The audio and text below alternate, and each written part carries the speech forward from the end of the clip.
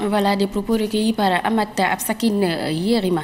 Ici, Andjamena, le secrétaire général du ministère de l'administration du territoire et de la bonne gouvernance, Tahir Oloy, a présidé euh, ce matin la cérémonie commémorative du troisième anniversaire de la campagne Aipilon, en anglais, qui veut dire j'appartiens en français, pour prévenir les risques de l'apatridie au Tchad. Une initiative donc du ministère de l'administration du territoire en partenariat avec l'UNHCR et l'UNICEF. Congar Emmanuel.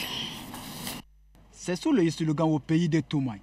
Chacun a droit à une nationalité que ce troisième anniversaire de la campagne J'appartiens est célébré au Tchad. Cette campagne de lutte contre l'apatridie permet de mettre en application les programmes de protection et d'assistance aux personnes n'ayant pas de nationalité légale. La représentante adjointe de l'UNICEF, Aja Aïsataba Sidibé, souligne que cette campagne vise à éradiquer l'apatridie d'ici 2024. C'est une opportunité et un appel à la construction d'un cadre juridique permettant de lutter contre ces comportements discriminatoires. Pour le représentant du Haut Commissariat des Nations Unies pour les réfugiés, Mbili Mbaoumba, l'engagement du Haïcher accompagner l'État dans la lutte contre l'apatridie s'est traduit par le renforcement des capacités des acteurs ministériels et d'aider le pays à se doter d'un plan national de lutte contre ce problème.